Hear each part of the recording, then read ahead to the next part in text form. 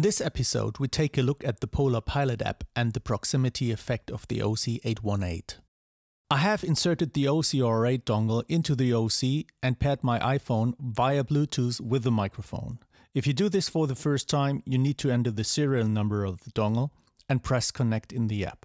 There's an automated process if you do this for the first time which leads you through these steps.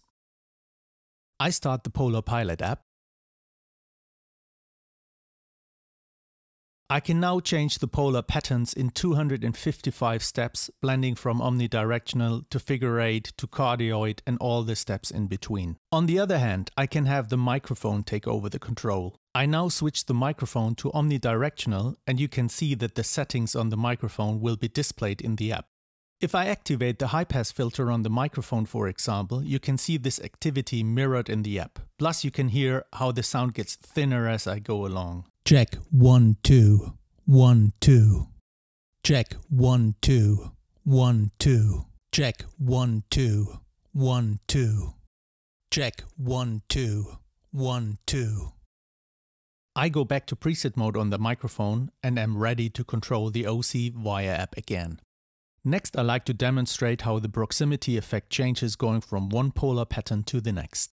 I start with figure 8 and we can hear how this polar pattern has a noticeable proximity effect. Actually the strongest proximity effect from all polar patterns.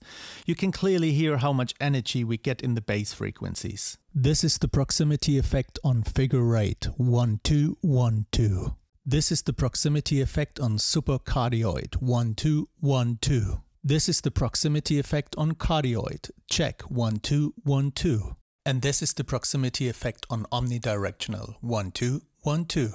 If I change to cardioid, we initially hear that the bass is fading away. There is still some proximity effect, but not nearly as much as in figure 8. By moving away from the microphone, the sound gets thinner. Going back towards the microphone, the proximity effect starts kicking back in. Often you can hear this effect, but it is rather unwanted and by accident. Knowing what you do, this can be a powerful tool if used intentionally. There's a very cool feature which has to do with overpowering the microphone, which I like to share with you next. I'll now try to overpower the microphone to distort it, so watch it, it's gonna get loud. Check! One, two, hey, check! The app is able to create a log when the incident happened and so you can track it back to the event in your scene in the theater or in your song and eventually react spontaneously by applying a pad on the app or on the microphone.